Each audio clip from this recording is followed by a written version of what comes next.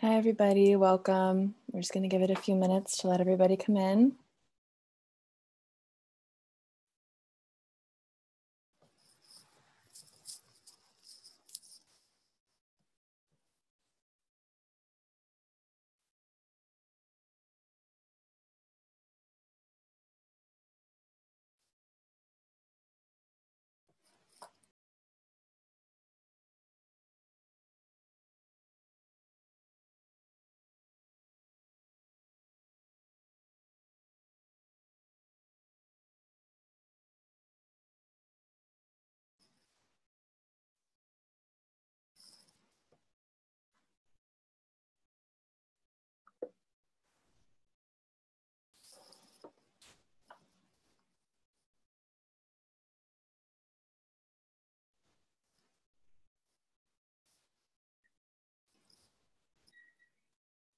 Just going to give it a few more moments.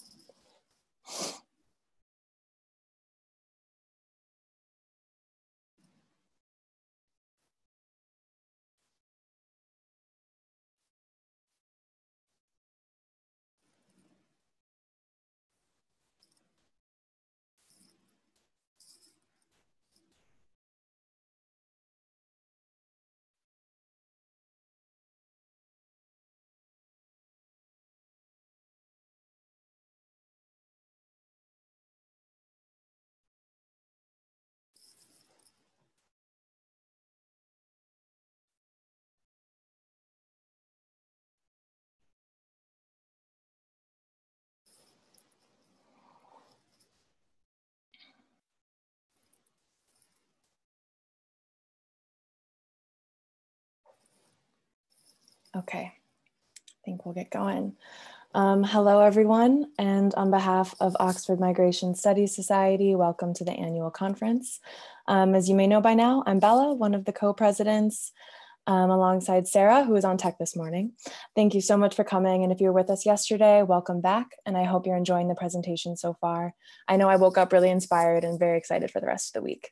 Before we get into it, just wanted to take a moment to flag some logistics. Um, after the panelists present, there will be a Q&A, so please feel free to type questions into the Q&A box as you think of them with the name of whoever the question is whoever the question is directed to if that's applicable. Um, and you'll also have the choice to upvote each other's questions.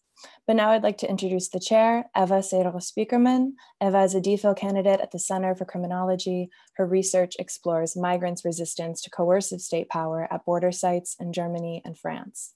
Departing from migrants' practices of resistance, her research examines the nature of immigration and border control in contemporary Europe. In particular, she's interested in the role of non-state actors and in how humanitarianism and human rights practices shape bordering processes. This project is supervised by Professor Mary Bosworth. Eva is an organizer and advocates an advocate of migrant rights with seven years experience in the NGO sector and in grassroots organizations in Germany, Belgium, Denmark, France, and in the UK. She completed her bachelor's degree in media and cultural studies at Heinrich Heine University Dusseldorf and her master's degree in global studies at University of Leipzig and Roskilde University. And I will let them take it from here. Enjoy. Thank you. Welcome everybody to um, this, the second panel on um, detention, uh, encampment and deportation um, and what I'm sure will be an incredible range of presentations and fantastic speakers. Today's presentations take us from the UK to West Africa, Japan, and the US. We will hear about the increasing carcerality of border control, the different actors involved, and how the ongoing global COVID-19 pandemic has exposed the violence of border control. We will also hear how coercive practices of detention, encampment, and deportation can in fact go hand in hand with humanitarian rationales and with deliberate mobility and circulation. Finally, on a more positive note, the presentations also address possibilities of political response and mobilization. And without further ado, I will, it's a pleasure to introduce you to the speakers of the first presentation, Dr. Martina Tazzioli and Dr. Francesca Esposito. Martina Tazzioli is lecturer in politics and technology at Goldsmiths University. She is the author of The Making of Migration, The Biopolitics of Mobility at Europe's Borders, published in 2020, as well as of Spaces of Governmentality, Autonomous Migration and the Arab Uprisings, published in 2015, and of Tunisia as a Revolutionized Space of Migration, published in 2016. She is co-editor of Foucault and the History of Our Present, published in 2015, and of Foucault and the Making of Subjects, published in 2016. Martina is on the editorial board of, journal, of the journal Radical Philosophy. Her new book project is entitled Border Abolitionism, Migration Containment and the Genealogies of Struggles and Rescue. The second speaker of the first presentation is Francesca Esposito. Francesca completed her, PhD in community psychology at the ISPA University of University Institute of Lisbon in 2019 and is currently a British Academy Newton International Fellow at the Center for Criminology at the University of Oxford. Her research focuses on immigration detention in Italy, Portugal, and the UK, and in particular on the gendered and racialized experiences of women confined inside detention centers. She's also a member of the feminist NGO Be Free and an associate director of border criminologies at the University of Oxford. And with that, I will um, hand over to Francesca and Martina. Thank you, Eva, for your introduction. Thank you to the conference organizers for this wonderful opportunity. And so our presentation will be about the economies of migrants confinement in the UK. And uh, uh, as many of you probably know, since 1999, the UK adopted a, dis a dispersal strategy policy to govern and control asylum seekers' presence in the country. So since then, besides to house asylum seekers and contain and detain them have multiplied and more recently, even hotels and military sites have been used as temporary accommodations. In particular, it dates back to September 2020, right after the first wave of COVID-19, the decision of the UK government to commission Penally Camp in Pembrokeshire and Napier encamped previously disused military barracks, to house people seeking asylum in the UK, blaming the pandemic for lack of available housing in the community. And despite being defined as contingencies for temporary accommodation, for asylum seekers who would later be moved to dispersed accommodations such as hotels, the Home Office announced that these sites would be used for 12 months. So in September, around 700 people were initially taken to Penally and Napier, all single men and the majority of them channel crossers, despite the protests undertaken by migrant rights groups, and solidarity groups and asylum seekers themselves uh, contesting uh, the inhumane conditions uh, of these of these sites. And here you can see some photos of uh, two demonstrations held in front of these sites where we also participated. So um, since the very beginning, allegations of overcrowding, scarce access to healthcare and legal advice, poor hygiene standards, inadequate provisions of preventive protective equipment were shared by the asylum seekers confined in these sites. Uh, and overall, they claim to being subject to cramped and unsafe conditions, which expose them to high risk of contracting COVID-19 and eventually die. Plus, as many also noted, uh, uh, although not being classified as detention centers, these military sites bear many of the hallmarks uh, of detention, almost operating as open prisons. So here you can see some photos uh, of these cramped prison-like facilities. So asylum seekers were left for months in these harsh conditions of confinement, isolation, neglect, and abandonment while outside, a third and far more deadly wave of COVID began to ravage the country, and the third national lockdown was declared.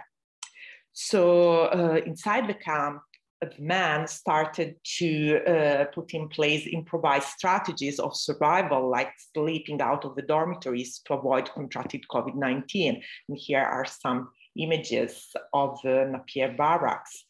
And desperate for this situation, Uh, some went so far as even trying to commit uh, self-harm and attempt suicide. So in these months, Martine and I maintained the contacts with two young guys confined inside Napier, who we met at the solidarity demonstration in October, uh, I showed you before. And beyond suffering for the spatial isolation in this remote site, as well as for the racist attacks of far-right groups, our friends repeatedly highlighted the uncertainty they were subject to, as well as the disinformation about their rights and legal aid entitlements particularly they told us they don't uh, didn't know why they had been taken to Napier.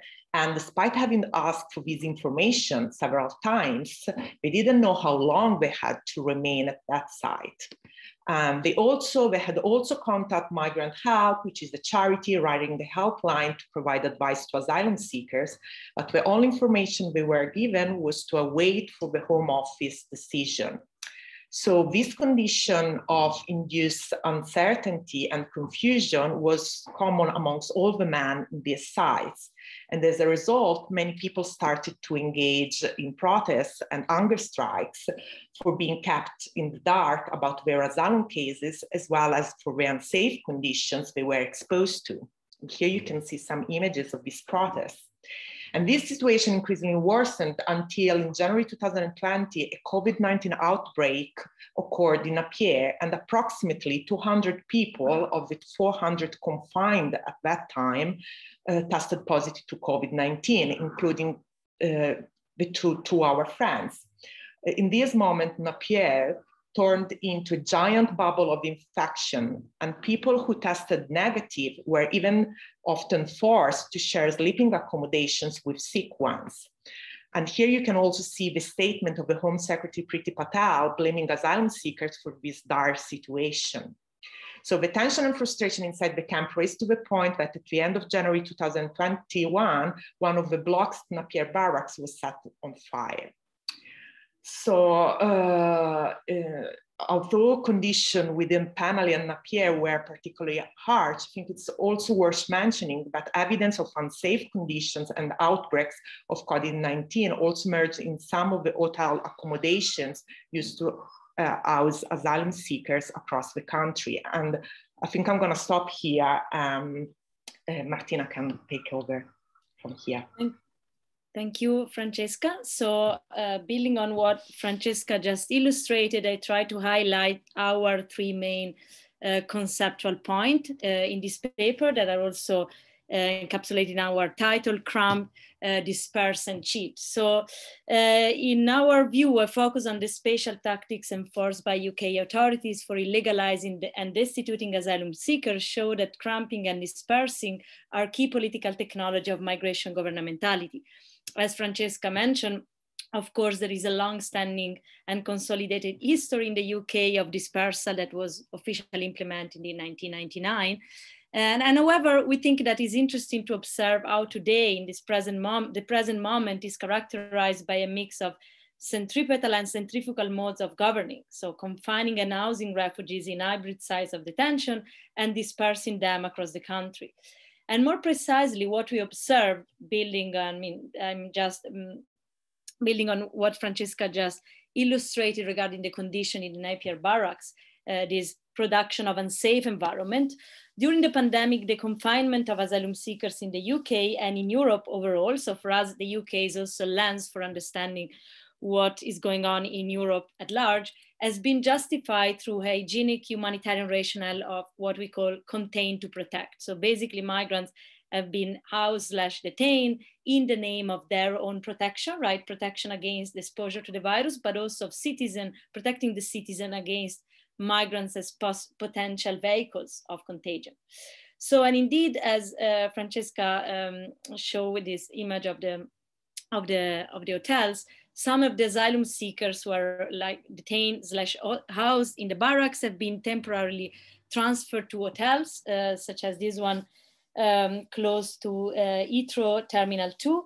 And also this is not a new strategy per se. So the use of the hotel uh, in the UK is not new. And however, for us, it is interesting um, that in this moment, the use of the hotel on the one hand has been like uh, um, multiplied, enhanced, but on the other, and in particular, this should be situated within what we call a confinement continuum. So hotels are, use, are notably used at the moment for um, uh, confining travelers who come from uh, um, countries that are on a red list and also asylum seekers um, that um, are waiting to be uh, dispersed. And it's interesting that some of the organization we uh, interviewed, I mean, they all stress, like such as migrant help that uh, Francesca mentioned, uh, this need of, so this logistical problem, infrastructure, logistical problem of where to, in this, this moment of COVID-19, we don't know how to uh, manage the presence of asylum seekers, right?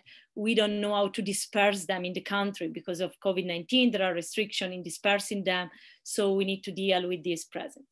However, and as a third point, so as I said, cramp and disperse, we, uh, we think that spatial tactics of confinement and dispersal are intertwined um, with obstruction to the asylum procedure, which are predicated on cheating asylum seekers and disorienting asylum seekers. So in order to grasp what um, Ruth Gilmore defined as the organized abandonment enacted by the state, we think that we need to analyze together um, how these how these spatial tactics, cramp and disperse, are articulated with administrative violence predicated on cheating and disorienting migrants. And this way of cheating, um, for us, is not necessarily the result of a unique, deliberate strategy enforced by a single actor, but is rather um, the result of a circulation of misinformation in the camps, for instance, in the barrack about the access to the legal aid. And we are happy, I mean, we are running out of time, but happy to speak more about it. Uh, and also how to get in touch with the authorities. So there is this enhancement of obstacles um, to uh, get access to um, not only to international protection, but to uh, the asylum uh, system as such. Uh, and to the multiple bureaucratic steps. And so for us is important. So while in migration literature, spatial tactics of migration governmentality and the governing through disorientation are often uh, analyzed separately, we uh, argue that we need to analyze these together. And to conclude, um, uh, um, we, so we building on these uh, specific case studies, for us, this the, the UK, the current UK context um, is also a moment of reflecting on how to rethink a critique of the border regime in light of this multiplication of the confinement continuum.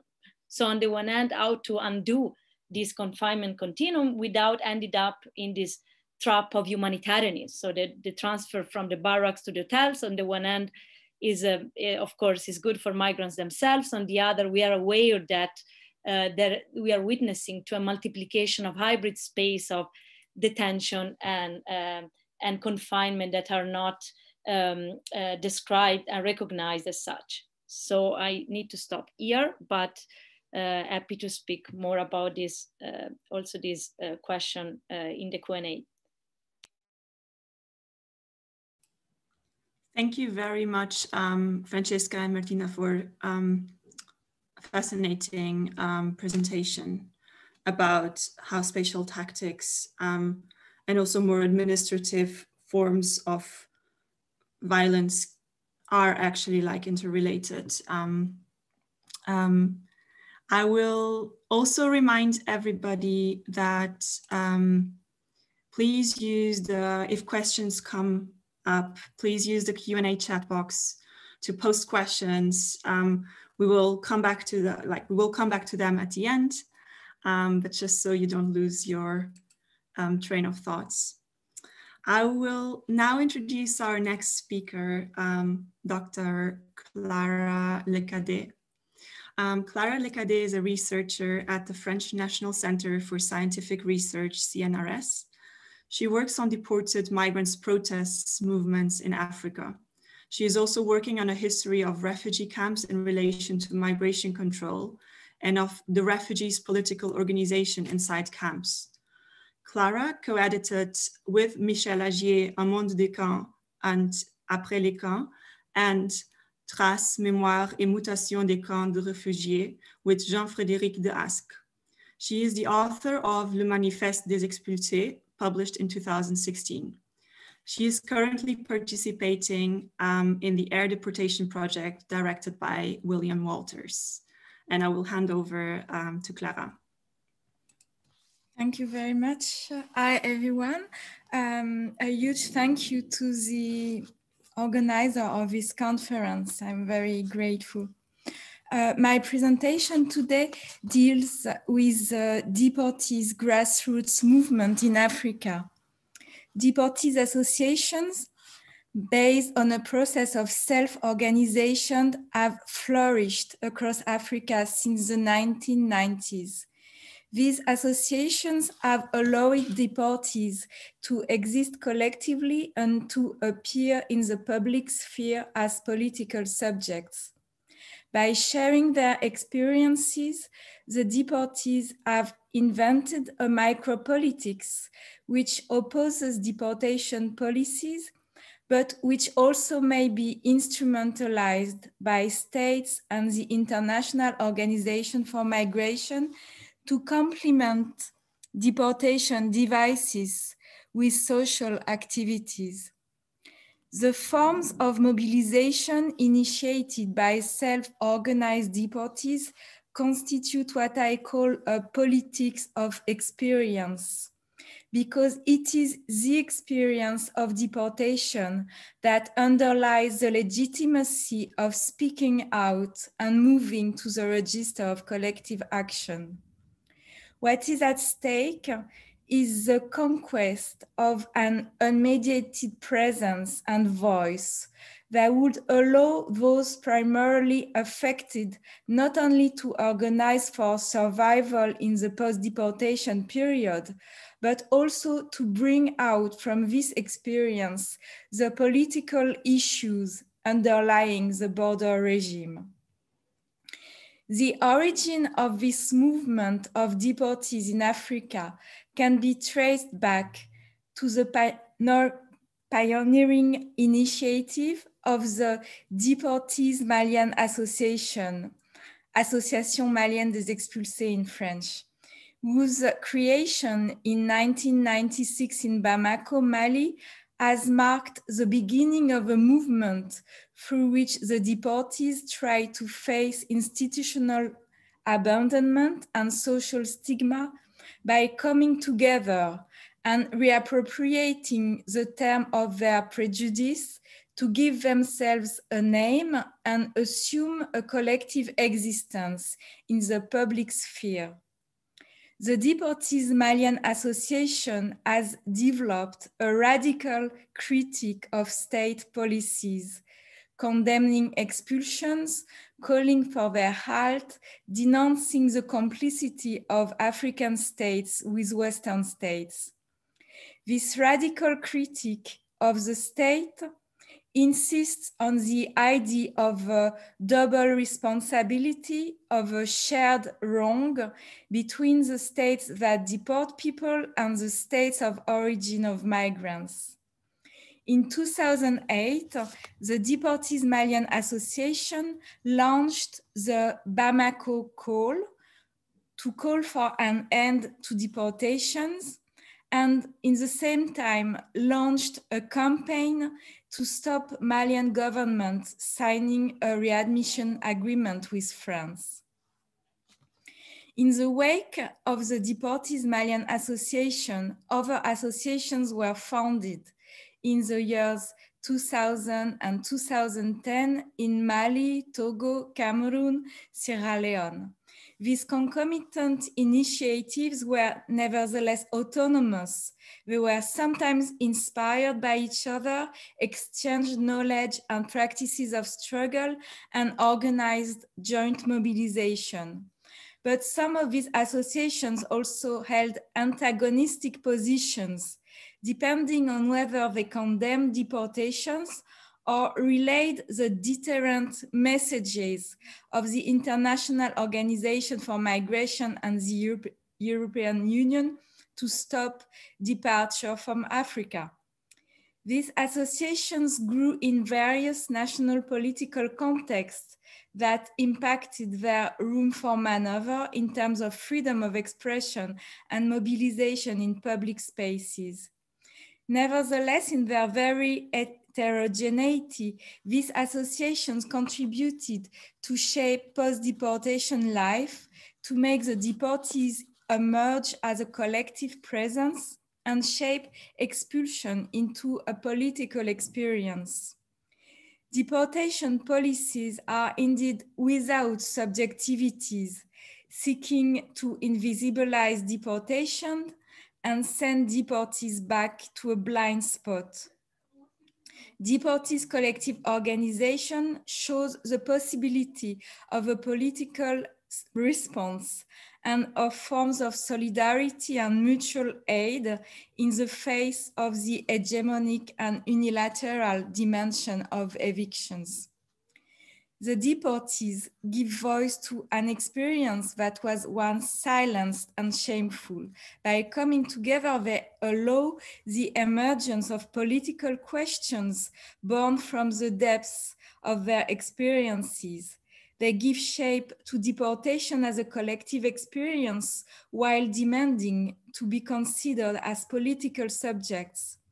Their appearance in the public sphere raises issues related to the relationship between intimacy and politics, between personal experiences and the legitimacy of refunding politics and public intervention by those who are directly affected by deportation policies. The shaping of this experience took different forms. Stories and testimonies in the media claims of abuses and theatrical performances on deportation and on its aftermath. In a video shot in Freetown, the network of ex-asylum seekers in Sierra Leone has staged what they call the agony of expulsion. With this antiphon repeated in a monotonous and tired tone, quote, it's not easy for the deportees the network of ex-asylum seekers in Sierra Leone stresses the social stigma, death, and condemnation in the society of origin, as well as the extreme fatigue and unrecorded deaths induced by deportation. In this process of politicization, of creating the ground for a common experience, deportation has resulted in speeches and slogans like those printed on the network of ex-asylum seekers in Sierra Leone's t-shirts. Quote, deportees are not criminal. Up against deportation, police brutality during deportation is inhuman. Or don't stigmatize don't stigmatize us, make us feel belonging. To think of deportees self-organization as a politics of the experience leads us to reflect on how the violence of deportation and its aftermath can be said while claiming a status as a political subject. The network of ex-asylum seekers in Sierra Leone's motto, quote, deportations are not victims, they are activists, suggests that the experience of the deportees can be the basis of a policy of struggle and not a subject of compassion that locks the expelled into a position of passive and suffering subjects the register of lamentation, it is not easy for the deportees, coexists and does not contradict the fact that this complaint may become a source of collective transformation and political emancipation. Thank you.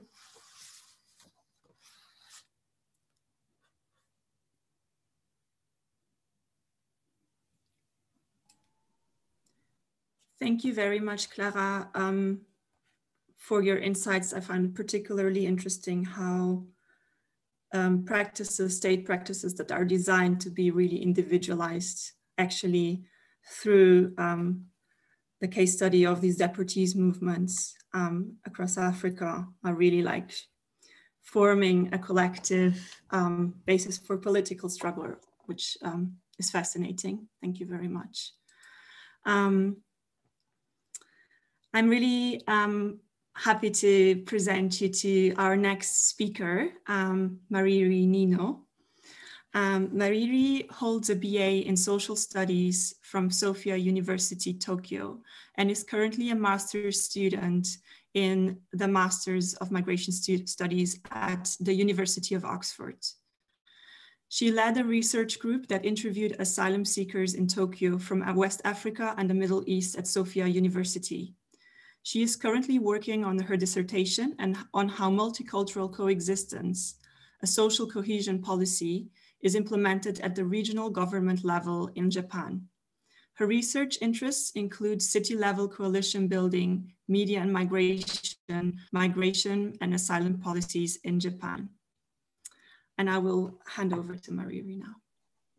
Thank you very much for the kind introduction. I'm honored to be a part of the conference today.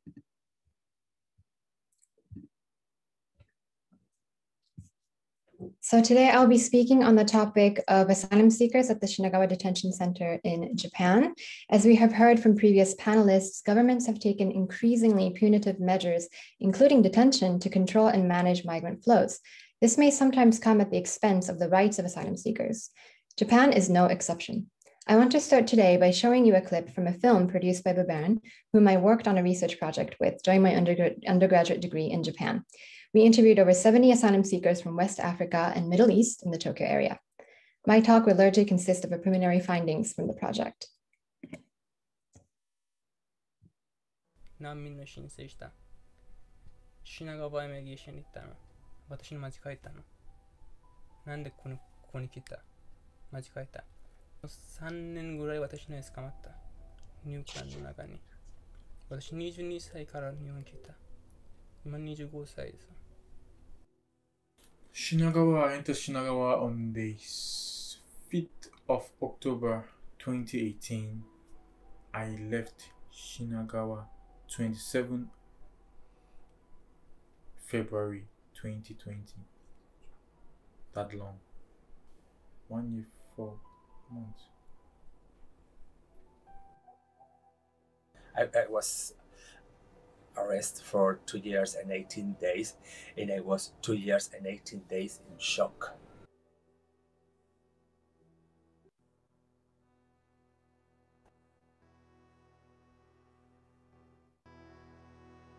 Immigration Detention Center, but it's not that, it's a jail. The film is about the Tokyo Regional Immigration Bureau, pictured here, commonly called Shinagawa Immigration by most of the asylum seekers we interviewed. It's located in the heart of Tokyo and is one of 17 such facilities in Japan that asylum seekers are put in after they refuse the deportation notice from a failed asylum application, for example. To give you a background on Japan's handling of asylum seekers, it's useful to look at Japan's global image and its reality. As this graph shows, Japan's contribution to the UNHCR holds quite a big portion. It's ranked third after US and Germany. Active refugee support is an integral part of Japan's global image. This graph shows the increasing number of asylum applications in Japan, over 10,000, making Japan a somewhat popular destination country for asylum seekers. However, the acceptance rate has remained surprisingly low, below 1% throughout the decades. Until recently, Japan's low numbers have not attracted much attention or required much explanation. Increased media awareness of the global refugee crisis and the result of the 2017 intake of refugees brought this issue to the surface. 20,000 applications and 20 acceptances made for eye-catching headlines. Moving on to detention, which is the topic of our panel today, I want to draw on Victor Turner's notions of liminality to explain the effect of detainment on asylum seekers in Shinagawa. Detention rate is on the rise, as you can see from this graph, and a substantial portion of them are asylum seekers. Here, as Beberin and Slater point out, Japan is using detention not as a temporary location until trial or repatriation become possible, but as a punitive measure to punish already persecuted refugees for the mistake of seeking asylum in Japan. What's more is that detention is indefinite, unlike the EU, for example, which caps its limits upwards to six months. There is no such rule in Japan. As you can see here, quite a substantial number of people are detained over two years. Here, our informant explains what this prolonged detention means for his situation and the state of social limbo that is created in effect. When you start thinking about being outside, when you think about your past, your future, finish. I've tried to remove everything that hurts me. I tried and I succeeded. And that's what kept me going. That's what made me always smile. Because I had to stop thinking about the situation happening in Cameroon, what I've been through, what is happening, what is going to happen to me. I'm thinking about all that. I had to move my life forward. I have to move. I had to move memories. Here, from borrowing from Turner, detention centers are suspended in social space. They are outside the boundaries of society, and asylum seekers are not granted their new identity as a refugee due to stringent processing measures, which leads to sort of social limbo, as he explains. Now we turn our attention to discuss the implication of the pandemic to all these measures. The pandemic further highlights tough conditions at the detention center, such as overcrowding and close spaces where practicing social distance is nearly impossible, where four to eight people are squished into a single room. It was revealed in February last year, as you can see from this article here, that 55 detainees and six officials tested positive at the Shinagawa Detention Center. Here, our informant explains how him and others detained were put in situations where they feared for their safety any person contracts a virus, we are all dead. Because the fact that we are here, they don't need us. They want us to go back. And most of us, we don't want our government. We don't even want to see our government. So it means we are dead if we have the virus. That's what I told him. I said, no, no, no. I don't want to contract this virus. This the virus has no boundaries. It knows nobody, no color, nothing. So I was really, really scared. The rise in positive test cases led to the Japanese authorities promoting the use of provisional release, or karihomen, in order to prevent the spread of COVID 19 within the facility. So, what is provisional release? It is a temporary measure that can only be obtained through paying a bond fee equivalent of 700 pounds. There is no work permit, no access to healthcare, and movement is heavily regulated. Our informants expressed the irony of having been granted provisional release, which gives them temporary freedom without much financial or health support, especially during the pandemic. Peña-san, gozaimasu. Because they, why, why, why omedeto? Why, why congratulations? If they're not happy. でも私は100%わかる。コロナ終わったら 私、違う人、順番順番、迎えにかんな入る。演者、演者来る場合、私の言う。今あなた出たでしょ？今から何してる？何、お金はどこから？もらう。でも、これはあなたたちの話じゃない、私の話。私は今からどうする？今から私どうする？出た。私今からお金はどうする？どうかな？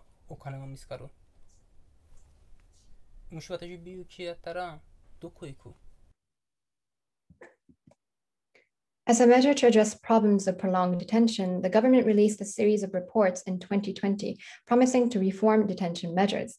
I have outlined some of their suggestions on the left side of the slide. The report failed to address long-term solutions to detention and instead placed its focus on deportation and further punitive measures to those who refuse to do so after a failed application, even when they would be faced, uh, even they would face danger back home. Here is one of our informants describing the effect of the threat of deportation on the mental well-being of asylum seekers. I think they do deportation by force uh, in the room because uh, it's a system. It's a dark, uh, hard system because the, to see deportation uh, is the other detainees with a, after that were depressed and in shock also. and they wanted, maybe they think, do it, let's do it, because the other guys maybe will say, uh, okay, I want to back my country. They work uh, very well, uh, destroying our brains, our, our feelings. The use of detention across the globe points the way asylum seekers have been perceived by the government as a threat that needs to be managed and controlled. Detention is justified as a trade off between asylum seekers' rights and the overall preservation of the refugee protection system, which rewards only those considered authentic or deserving refugees. In Japan, the pandemic has only highlighted the underlying challenges posed by such an unsustainable structure. As the case of the Shinagawa detention illustrates, long term detention has serious physical and mental health implications for those seeking asylum. In keeping with the conference theme, Borders and Justice, it is important now more than ever to reflect on how and why detention is being used and to think of possible alternatives. In Japan, there is yet to be a comprehensive measure to address all of these concerns. Thank you very much for your attention.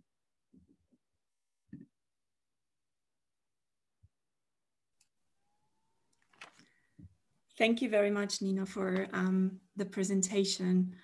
I actually think it's um, really, really interesting to hear from um, policies and experiences um, in Japan, of detention in Japan, and especially how the COVID-19 pandemic has really exposed the violence, but also how what one would think is um, could be regarded a progressive um, development, this provisional release, Karihomen, um, that you've explained um, so eloquently to us um, is actually a way to keep people alive, but then actually to release them from detention, but then in fact to um, not provide any support in healthcare. So basically releasing from detention, but still being trapped in, in a system without any kind of um, support to survive. Um, thank you very much. Um, I'm going to now introduce our next um, speakers, um, Dr. Silvia Pitzalis and Dr. Fabio De Blasis. Um, Silvia Pitzalis holds a PhD in anthropology from the University of Bologna. She is now research fellow, at the University of Urbino. From 2009, she has been carried, carrying out research between disasters and migrations in Italy and abroad, among others in Sri Lanka, Niger, and Senegal. Her main interests concern the management of emergencies and crises, migration policies, and forms of resistance. Fabio De Blasis holds a PhD in Global International Studies from the University of Bologna. He works for an Italian NGO as researcher and practitioner. He carried out extensive field work on rural transformations and development, labor and contemporary migration in sub-Saharan Africa with research experience in Tanzania, Senegal, Eritrea, and Niger. And I will hand over to Fabio and Silvia.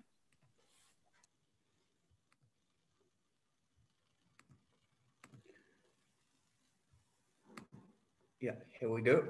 Thank you for, for this opportunity. Good morning. Um, Silvia and I are going to focus on the role uh, of IOM in the EU policy of border externalization uh, in the Niger. um, Niger is, or at least used to be until a few years ago, uh, one of the major transit migration hub for Western African migrants moving towards Libya, Algeria, and uh, most importantly for uh, EU policymakers in Europe. Um, this picture, however, uh, radically changed since uh, 2016 when, when it was published uh, by IOM. A number of factors have contributed to the transformation of Niger from what used to be called a, a transit migration state into what we call um, a trapped migration state. And most of these factors have to do with the EU policy of border externalization in transit countries and with restrictive migration policies, both with Niger, uh, especially after the adoption of the 2015 law criminalizing regular migration, as well as outside Niger, uh, especially Libya and more recently Algeria, which since uh, 2015 has been massively deporting uh, irregular transit migrants uh, to Niger. Over 40,000 migrants have been deported uh, in the last few years uh, at the Niger border. Um, these processes have paved the ground for uh, what we call an externalization of migration management and a forced return migration management through uh, IOM. Uh, IOM operation in Niger um, increased dramatically after La Valletta agreements in 2015, and they are currently funded by uh, the EU Emergency Trust Fund for Africa. Uh, just to mention a few, uh, IOM's operation in Niger include the monitoring and registering uh, for migratory flows with over a million of migrants uh, registered and profiled uh, in the last few years. Um, IOM is also carrying out search and rescue operation in, in Agadez region and uh, is conducting humanitarian rescue operation of deported migrants at the Algeria-Niger border. Um, and lastly, IOM is running three, six transit centers across Niger and is implementing what they call uh, assisted voluntary uh, return and reintegration programs from Niger to third countries. Uh, over 50,000 migrants have been uh, returned to their country of, of, origin in the last uh, five year, four or five years. Um, according to, to IOM, this program, uh, the voluntary return, is uh, aimed at helping the return of migrants who uh, wish to get back home but lack the means to do so. Uh, it covers the return journey and, uh, and provides uh, an in-kind contribution of $300 for uh, economic reintegration and income generating activities in, in, in the country of origin. Um, in 2019, uh, IOM Niger recorded the highest number of migrants assisted with voluntary return of all IOM missions worldwide. Um, we argue that this program is accelerating uh, a new transformation of Niger uh, into what we call a backward transit migration hub. Uh, and that under the humanitarian umbrella, IOM is playing a key role uh, in the migration control agenda of the EU and within the broader strategy of curbing uh, irregular migration towards and within Europe. Um, at the time of our fieldworks, uh, the, most of the migrants in charge of IOM uh, in its transit centers uh, waiting for repatriation were uh, migrants deported from Algeria. Uh, there was also a small minority of migrants returning from Libya and we found also a small but increasing number of undocumented migrants uh, caught by the police forces while transiting in Niger and directed to IOM for not so voluntary return. Um, this is a clear sign to us that IOM operation is going well beyond the humanitarian and, and moving instead uh, towards migration, migration control um, and containment. Um, I let Silvia to go further on this. Thank you, Fabio. Um, during our research, uh, we have found um, several critical issues on the way this program uh, is managed and implemented. Uh, firstly, at conditionality, uh, especially for migrants deported from Algeria and rescued by IOM through its humanitarian uh, rescue operation. Uh, these migrants are victims of multiple violation of uh, human rights before and during uh, deportations. Uh, they are left by Algerian authorities in the middle of the desert and are forced to walk uh, 20 kilometers at night until they reach the border uh, where they are rescued by IOM. Uh, as soon as they are um, mm, rescued, uh, they are offered to join the uh, return program. Uh, they have no choice but to access the, the return since it is the only way to access the assistance provided by IOM um, in, the, in its transit center. Assistance in these centers um, is indeed conditional upon signing up uh, for the return. uh, and no other real alternative is provided for those who don't want to sign up.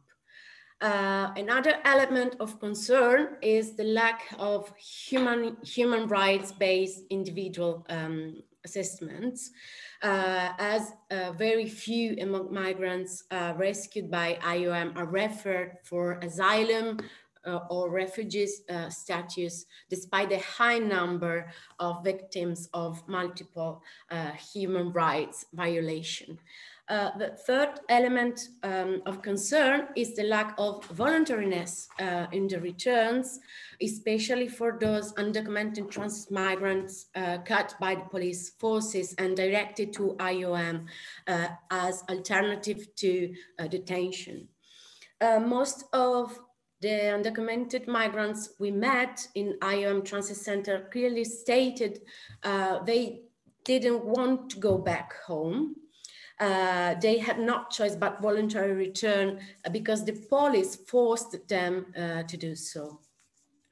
Um, overall, we argue that uh, the assisted voluntary return um, and reintegration program is not uh, very successful in terms of social economic reintegration uh, in the country of origin uh, as many migrants leave shortly after the repatriation program and try many more time uh, to reach Algeria, uh, Libya, and eventually Europe.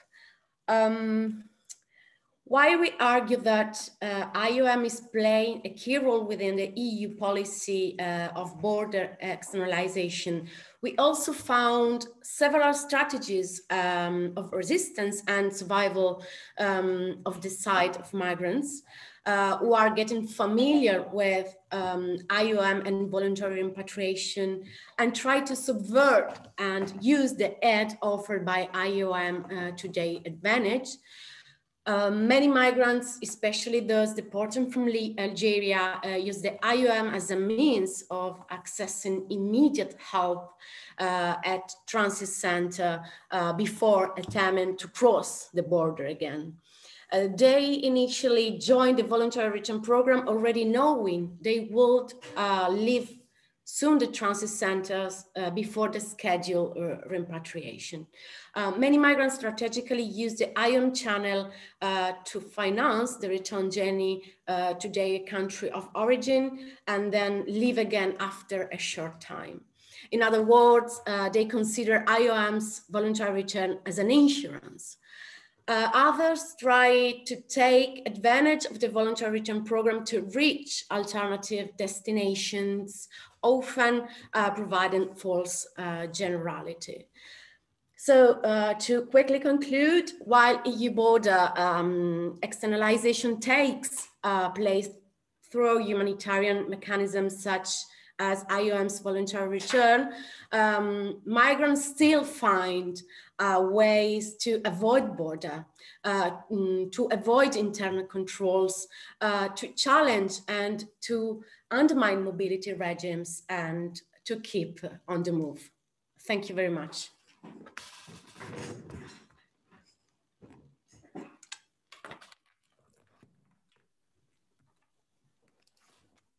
Thank you very much, Silvia and Fabio, for that um, fantastic presentation about how, in fact, like humanitarian mechanisms as the IOM's voluntary re return program um, has, in fact, like coercive um, elements to it or is coercive by nature.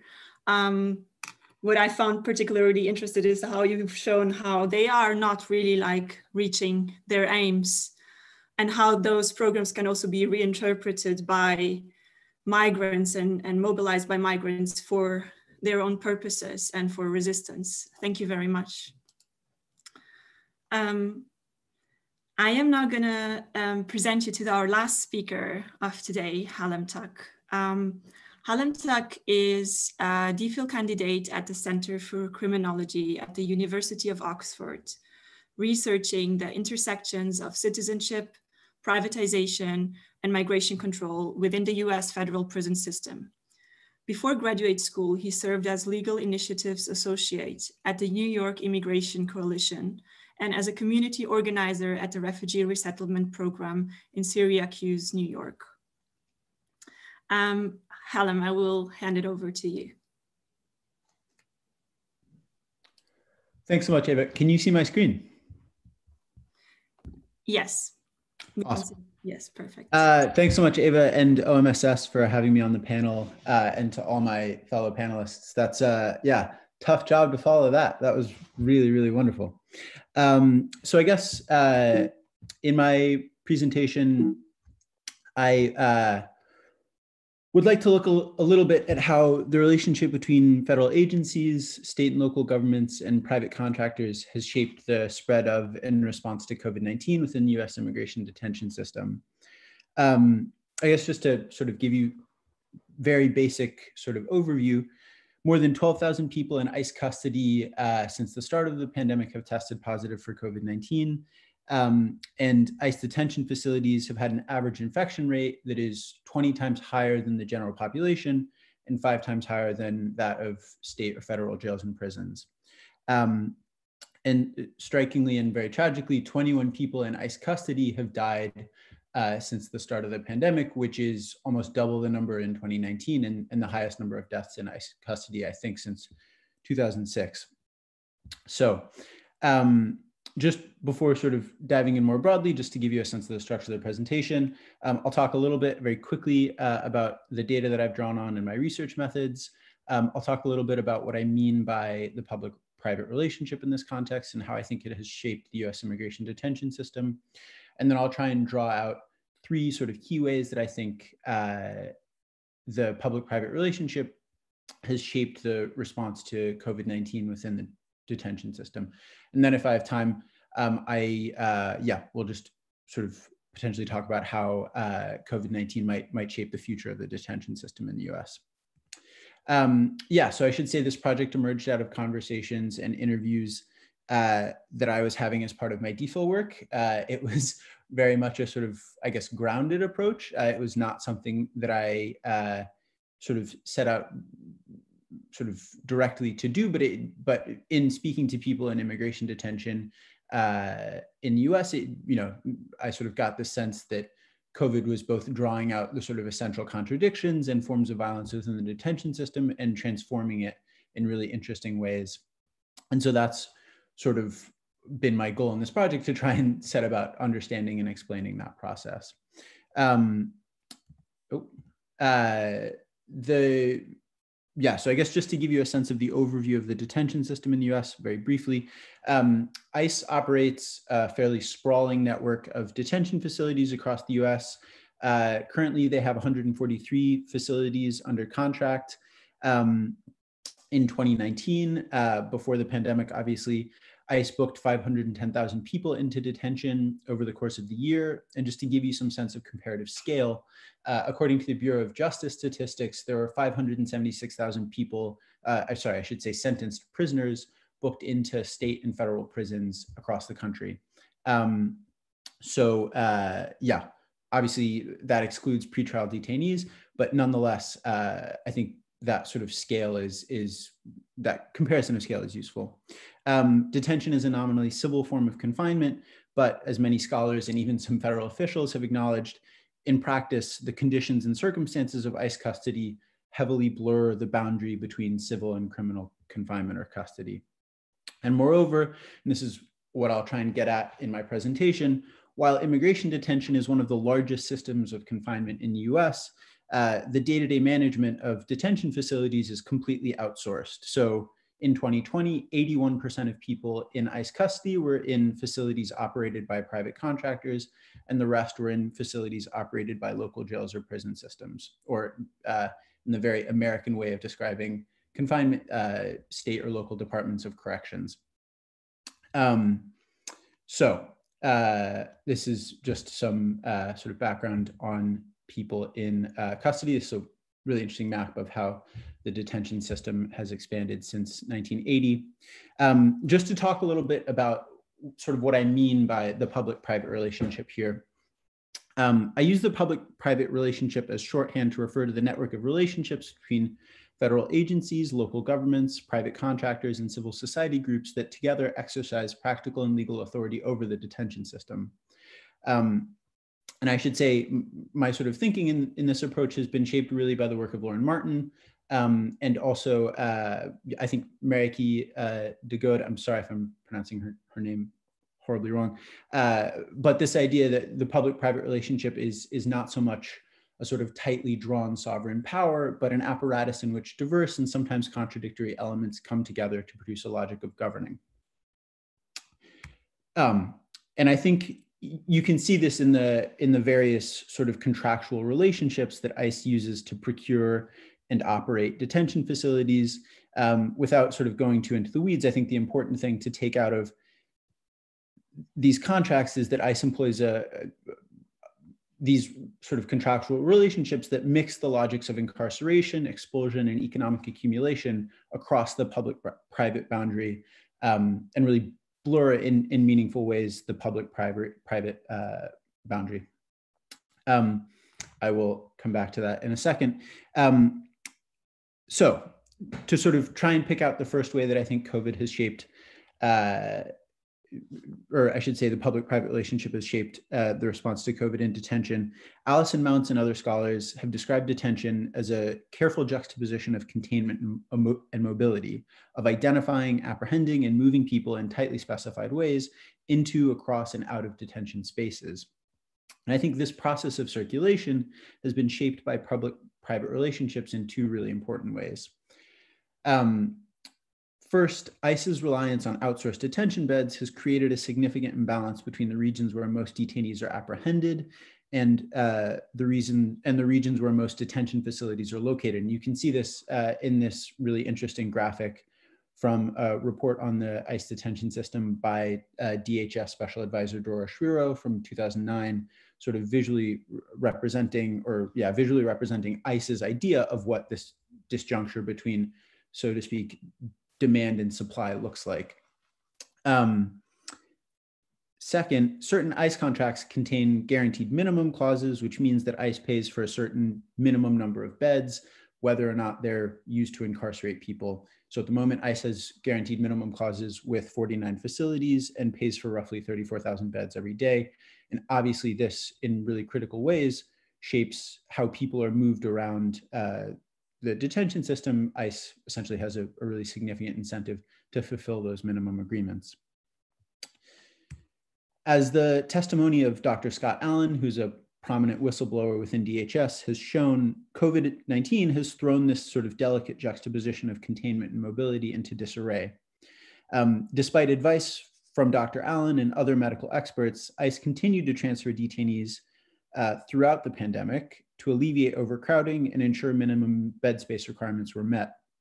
And strikingly, according to analysis by the NGO Detention Watch Network, this failure to halt transfers uh, and take efforts to substantially reduce detention populations was linked to an additional 245,000 cases of COVID 19 outside of detention facilities. And I think to see a practical example of how this played out, we can look at what happened at ICA Farmville, which is a detention facility in Farmville, Georgia, last year. ICA Farmville is operated through a intergovernmental services agreement. Uh, so ICE contracts with the town of Farmville, Virginia, who then subcontract to the private contractor, Immigration Centers of America, and ICA uh, then subcontracts to a separate company called Armor Health to provide medical services at the facility. in mid-April last year, uh, Armor Health employee and the facility's chief medical officer, Teresa Moore, sort of sensing that COVID was going to be a, a problem for the facility, worked out a deal with ICE and ICA to halt any new intakes at the facility to prevent the spread of the virus. And yet on June 2nd, ICE transferred 74 detainees to Farmville from facilities in Florida and Arizona. Uh, 51 of these detainees would eventually test positive for COVID-19. And these, these transfers really had drastic consequences, both for the facility and also for the, the community uh, yeah, around the facility. Um, four weeks later, nearly 90% of the detainees at the facility tested positive, and very tragically, one detainee died from COVID uh, at, at Farmville. And so I think we can see here how this sort of public-private relationship uh, shaped uh, the experience of COVID at, at Farmville. Uh, while initially ICE denied that uh, the you know the transfers had any uh, sort of effect on the spread of the virus, it would come out later that ICE had made this transfer to meet a minimum bed requirement. And they would acknowledge uh, in an after action report that these transfers had played a critical role in spreading uh, COVID around the detention system. Um, beyond circulation, I think the public-private relationship shapes the material circumstances within detention facilities in ways that make people in ICE custody really uniquely vulnerable to COVID-19. And to understand how the outsourcing of detention shapes the material conditions of confinement, I think it's important to understand how value is extracted through the economic relationships within the detention system. So historically in the US, non-state or private practices of incarceration or penal servitude involved extracting value from the labor of confined people. By contrast, contemporary practices of privately operated detention extract value from confinement by cutting the costs associated with the biological and social reproduction of detainees. And I think Lauren Martin has done a really excellent uh, job of describing this in her recent paper on immigration detention in the US. And so in a real sense, when companies like the GEO Group, which is one of the major private contractors in the US, report positively to their shareholders that they've reduced their operating expenses, in a real sense, what they're talking about is saving money or cutting down on, on the cost of keeping people in detention alive. Um, unsurprisingly, uh, this has really exacerbated the spread of COVID-19. Uh, in a national survey conducted by the DHS Office of the Inspector General in April 2020, uh, staff from 188 detention facilities across the country raised concerns about their inability to practice uh, social distancing, chronic understaffing of medical personnel, and shortages of basic sanitary products and, uh, and, and PPE. Um, at Folkston Ice Processing Center, a facility operated by the GEO Group in southeastern Georgia, detainees expressed really a multitude of concerns about the lack of medical care and the inability to get the care that they felt they required. Um, one detainee who I spoke to while I was doing some interviews for my fieldwork told me that uh, he'd received treatment for asthma since 2012, but he hadn't been able to get an inhaler, a salbutamol inhaler from GEO. And so uh, whenever he had an asthma attack, he would share an inhaler with another guy that was in his cell who was very graciously essentially allowing him to use his, his inhaler.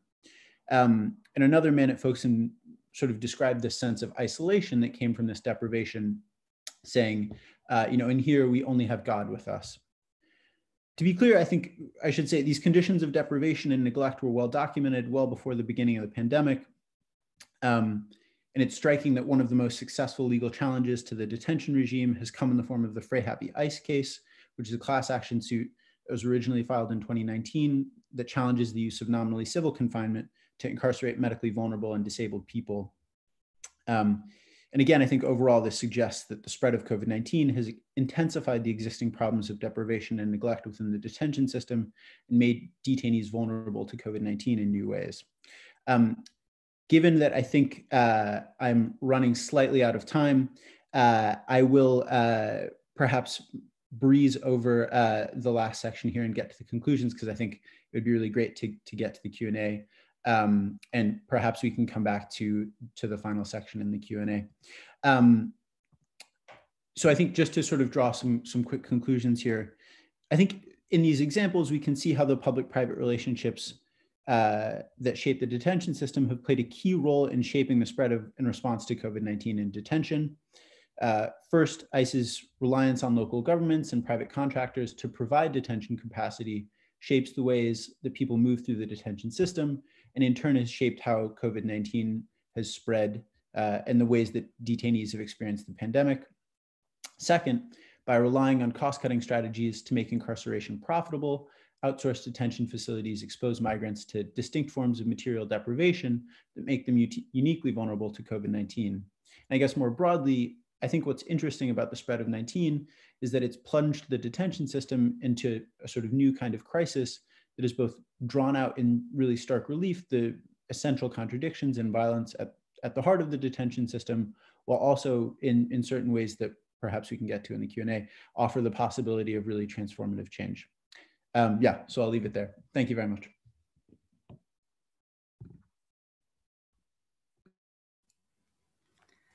Thank you very much, Hallam. Um, for really dig digging deep into how the surge of COVID-19 in ICE facilities in the US is um, can be traced back to the re reliance on private contractors, um, such as the Geo Group, but also others, and also traced back to the rationalization um, of detention and cost cutting. So, so actually economic um, interests. Um, thank you.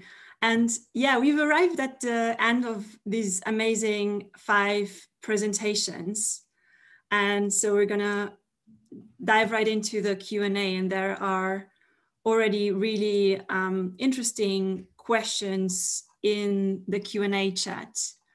Um, and I will start by um, bringing up one question to Martina and Francesca before I move on to, to other questions, um, which is the following. Um, this is a question for Martina and Francesca. I'm just going to read it out loud so we can all um, understand the question. Um, this is a question for Martina and Francesca. Thanks so much for your presentation. Is there a political economy angle to the increased use of hotels for housing asylum seekers during COVID? Have the hotel companies perhaps lobbied the Home Office slash offered their hotels as housing in order to make money during lockdowns? If so, might there be an interesting intersection here with private security companies such as Serco and G4S ask, acting as housing providers in the dispersal system? Yeah so um, also like especially in relation to to the presentation we just heard by by Hallam I don't know if um, Martina or Francesca you want to react to this question yeah I can say a couple of words and maybe uh, Francesca can develop it. So yeah, definitely uh, the political economy angle is a super uh, productive lens for reading what is going on in our opinion. Um, and this regard is important to say that, um, well, Serco um, runs most of the hotels that have been, that are currently used for uh, housing, temporarily housing, hosting asylum seekers. Um, uh, so uh, the barracks uh, are run by Clear Spring and there are three actors involved um, overall in housing asylum seekers, Mears, Clear Springs, and and Serco. And the contract has been renewed in 2019, so before the pandemic. And however, there is a longer history of this like economy of outsourcing uh, asylum seekers, the housing of asylum seekers. 2012 uh, is an important year when this like privatization, outsourcing of asylum seeker services has been boosted. So it didn't start with the pandemic, but our um, our hypothesis is that uh, the pandemic provided like a, a, good opportunity for these private actors and in particular for these three actors to um, uh, gain a kind of monopoly over the, like asylum the, the, the housing of uh, of asylum seekers um, and in particular yeah Serco uh, and as I said also Mir and Clear Spring play a key role. Um, so we notice this concentration right in the end of these three uh, providers. Uh, and in general, yeah, mm, the outsourcing of like the, the, lens of outsourcing is uh, is key for for analyzing the restructuring of power relation in refugee governance. maybe Francesca, I don't know if you want to add something. Yeah, uh, I think yeah, you already mentioned the, the key points. Maybe just to add, but under this last contract called Asylum Accommodation and Support Services Contract of 2019, there was also a national contract for providing uh, helpline and support service to asylum seekers, which was uh, uh, was given to Migrant Help uh, which I mentioned in, uh, we mentioned in our presentation. And so uh, also is another actor uh, who was introduced in this, um, in this economy, in this business of private actors uh, in the in the asylum industry and which actually plays a key role in our analysis uh, in also contributing to this confusion and conflicting informations which uh, ultimately uh, hamper the access uh, of people to legal aid entitlements, uh, and as Martina said before, as the, the, asylum system itself. So uh, I think someone was asking about uh, about migrant help. And what we we realized through this uh, this contact of friendship and solidarity with some of the people inside the barracks was exactly that. They were extremely confused about what rights they had what entitlements also in terms of uh, legal support legal aid. So uh, basically they thought that they were not allowed to receive uh, uh, free legal support in their cases. And this confusion was uh, exactly uh, the result of several actors, uh, uh, which are in of course, are in this industry, and also the role of migrant help, who, I mean, didn't provide clear information on how to navigate the system. So I think, yeah. Thank you, Martina and Francesca, for also already um, um, referring to this other question, which asked about charities, organization role and positionality. Um, it's really insightful. Thank you. Um, the next question is um, to Mariri. Um, I think there are a lot of um, people in the audience who found your presentation in the context of Japan particularly interesting. Um, and the question um, says, uh, thank you so much for your presentation. Since I feel particularly ignorant about migrants' situation in Japan, could you please clarify how asylum seekers reach the country? Right. Yeah. Thank you for your question and, and for your interest as well. Um, to answer your question and to give a little bit of background in the um, asylum seeker situation in Japan in general, um, most of the asylum seekers are actually from nearby places uh, like Southeast Asians, Filipinos, Vietnam, Sri Lanka, Indonesia are one of the top applicants on the list. Um, and there are some others from West Africa and the Middle East, also from Iran, Ghana, Cameroon, Nigeria, um, whom we have access to and whom we have um, interviewed. So usually they would come in um, as, and kind of going to answer the question that's below it, um, they are protected by the international law, and Japan has ratified the 1951 convention. So all of those rules apply. Um, however, so refoulement applies applies as well. However, a lot of them are stopped at the border or questioned at the border when they don't have a, a visa.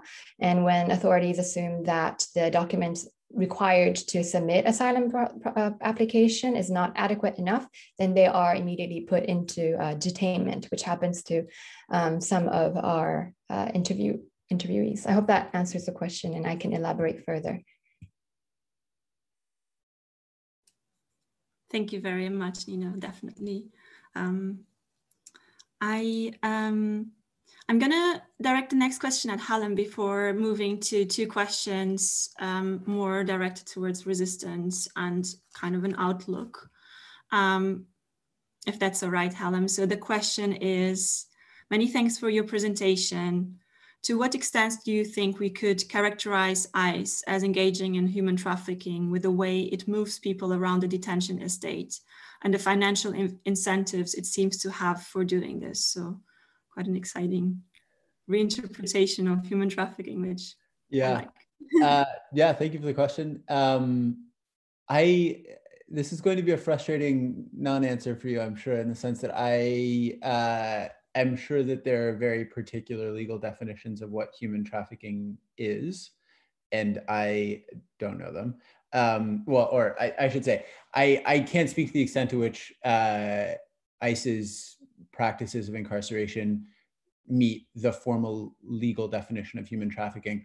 Although I will say, I think what's really interesting, and, and also obviously ICE within the legal system has, uh, yeah, has legal authority to very specific legal authority uh, to confine people for the purposes of making them attend immigration hearings and making sure that they don't uh, threaten public safety, which is, yeah, obviously a very sort of ambiguous uh, idea or yeah, very ambiguous term.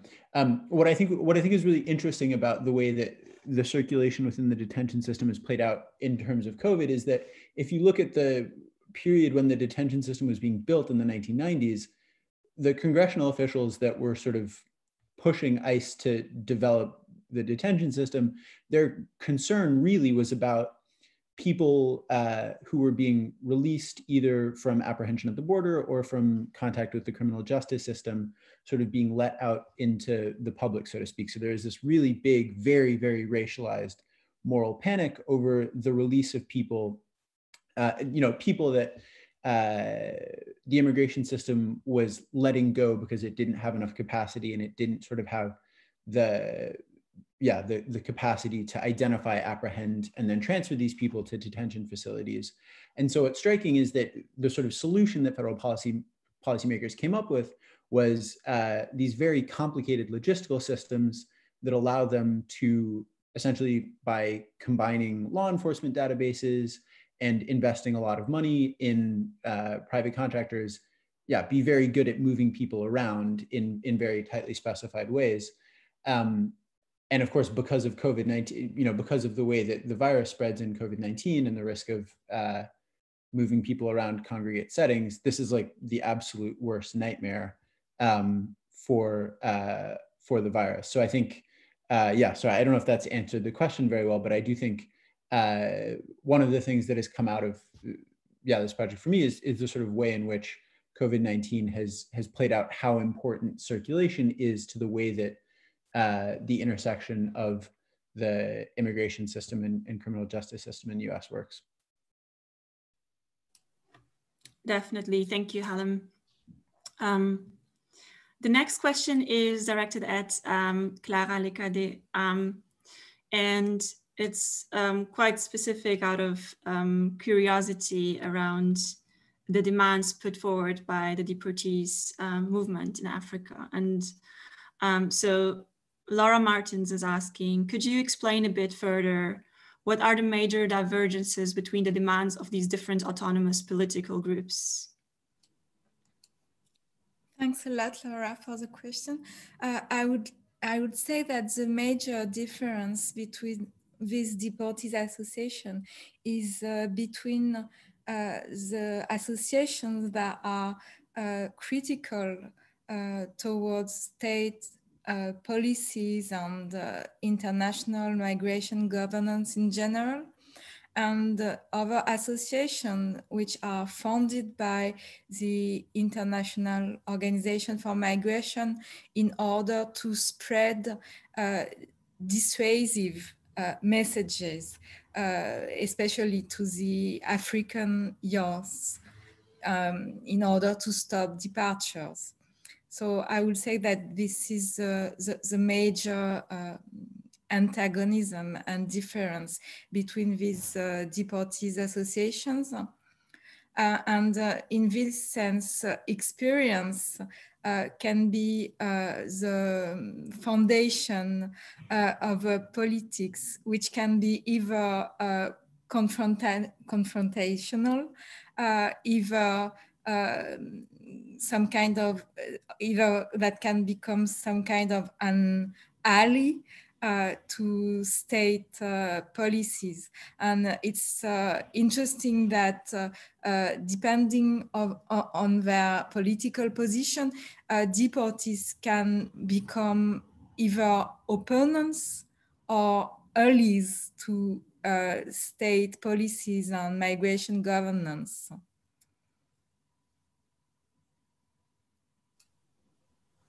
Thank you, Clara. Um, really interesting perspectives um, of like opposition, yeah, different ways how how experience can play out and be be used in a way or be mobilized for for resistance. I'm gonna um, be putting forward this really interesting um, question as the last question. I would like to. Um, it's not it's not direct. I think it's it's open to to, to the whole panel, I would like to start by addressing it to uh, Fabio and Silvia. Um, and maybe if some other um, afterwards have um, anything to add, um, we could then um, thereafter close the panel. So an excellent panel. Um, the paper on Japan with direct inputs by people who are being held in those centers was incredibly useful. So too the paper on IOM's role in Africa and all the other papers. My question is, what purpose do such panels and papers serve beyond exposing the dynamics of invisible systems and regimes of control? How can we take one more step to change the status quo?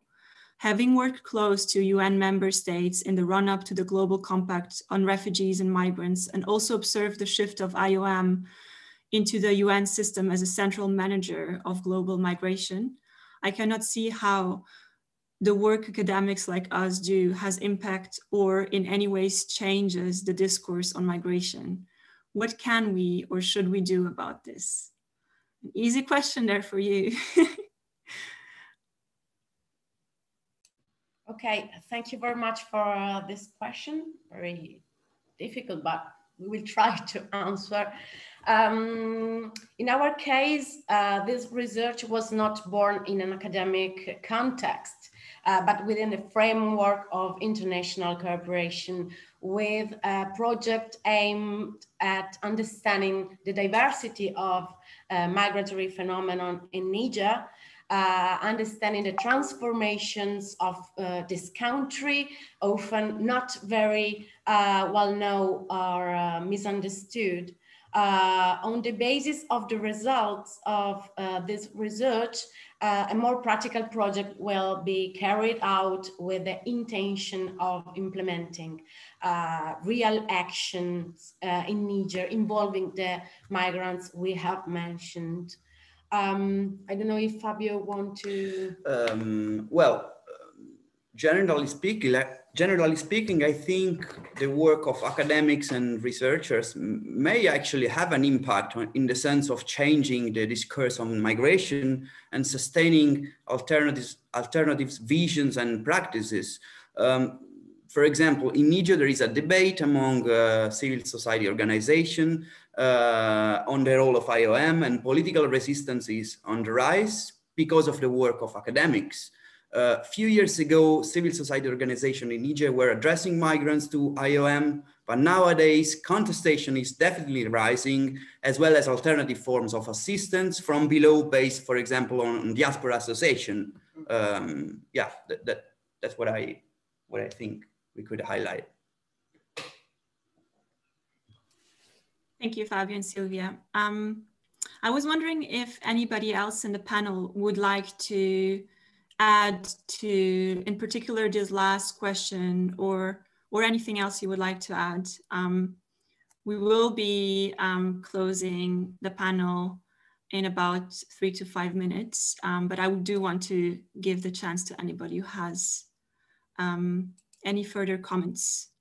Can I, can I invoke my privilege as panelists to ask a question of Martina and Francesca, Eva? Of course. Wonderful. Um, Francesca Martina, I thought that presentation was incredible and, and really, really timely. I wonder, and it's something that I've been thinking about in the context of, I guess, similar sort of themes in the US, but you talked a lot about how practices of confinement in the UK are very sort of ad hoc, right? Like they come out of these periods where there is tremendous, there's perception of migration, perceptions of migration crisis. And so the state sort of scrambles around and searches for ways to incarcerate people in ways that, that constantly sort of change and, and shift shape. And I think even there was a, a question in the chat box that got this got to this a little bit, but I think it's striking that in the UK there have been some successes in closing down immigration detention centers, and yet after these periods of migration crisis, we get sort of new new forms of detention in different shapes or contexts. And so I guess I wonder what because I, I, my sense is that you've been pretty involved with grassroots organizing around sort of closing down detention, how organizers uh, or I guess academics or whoever really should respond to the fact that detention seems to be able to sort of shift shape constantly and, and prolong itself in some sense. Francesca, do you want to start now and then I can? Maybe I can just say a few words trying to connect with uh, the question before and what Alam was saying. Um, yeah, first of all, I would like to say I think I mean, at least in my my way of, of, seeing research and academic work, I think it needs to be in very in continuity um, uh, uh, uh with uh, the, the, struggles, the grassroots struggles of people, of activist group, and above all of people with lived experiences who are at the front front of this fight against the, the border regime. Um, so I, I, think it's only through, I mean, working together uh, that we, with them and uh, putting our work at the service of them that we can somehow get uh, to, to something, achieve something. Uh, this being said, I think that uh, um, it, it is not uh, just about making visible invisible forms of, uh, of injustice, of social control. But I think this is the first step to, uh, to build effective forms of resistance and struggle.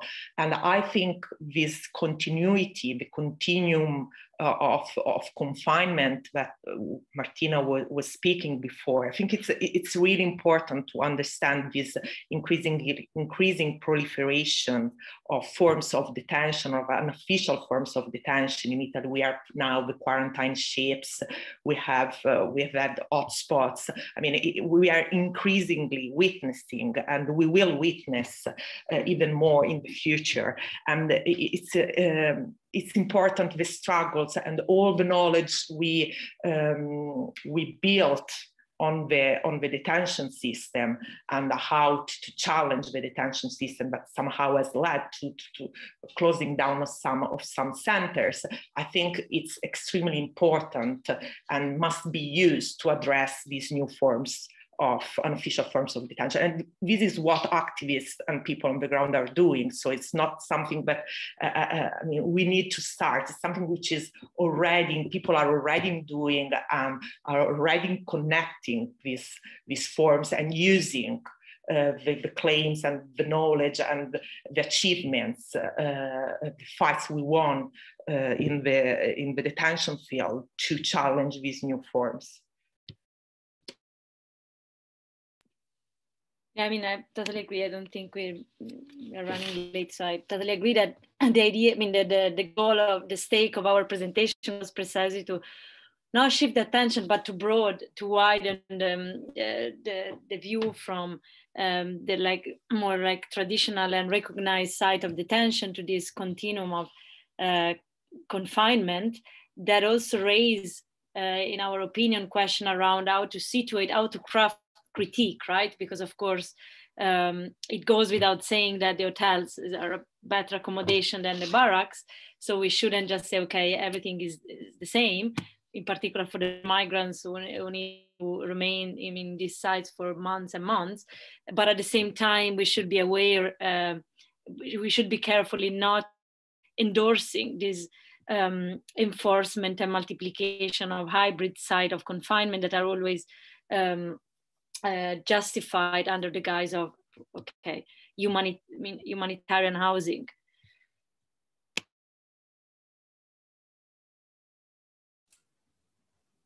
Thank you. Um, does anybody um, else in the panel want to bring us one last perspective? Um, i'll just give it.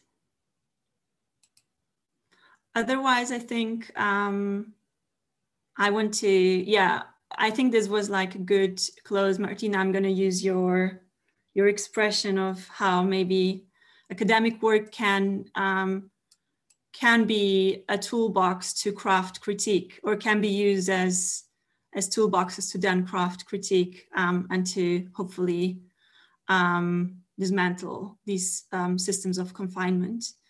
Um, I want to thank everybody, um, especially the panelists, but also the audience for the amazing questions. But uh, um, the presentations were all and each and everyone um, insightful.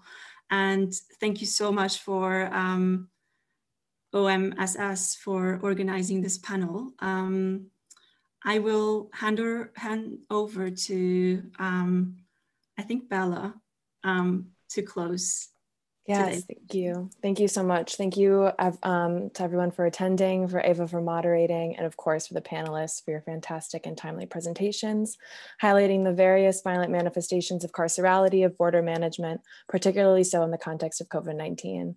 We are honored you have chosen to share your expertise and time with us. If you are enjoying the conference, please consider making a donation, which can be done through purchasing a donation ticket on our Eventbrite page. Your donations will be split among five organizations, Otros Rims en Acción, Statewatch, Oxford Against Immigration Detention, and Border Violence Monitoring Network, as well as Art Connects. Representatives from the organizations are a key component of our next panel, which is at 5 p.m. BST, and it's the Activist Practitioner panel. We will pick up right where we left off on this panel, essentially looking at the connection of scholarship and activist efforts. It will be a really interesting mixture of local activists, work on the deportee movement, research activism, and politics with an activist MEP joining, and moderated by Martina, who you heard from on this panel. We'll hear about the practicalities of organizing and resisting the border regime, and once again, it's on the same link. So even if you haven't registered, not to worry, you can still join. Uh, thank you as well to the co-hosts, Routed Magazine, Border Criminologies, and the Oxford Migration Mobility Network. And of course, our OMSS team, Charlie, Jasper, Guadalupe, Philippa, Giovanni, Trin, Assad, and Saher for your work. If you're not already, if you have not already had a look, the conference special issue is available on the Routed website. Do be sure to follow along on social media for information on the rest of the conference week, and we hope to see you virtually soon. Um, final note, all of the recordings will be available on the Border Criminologies YouTube account. Thank you so much. Take care.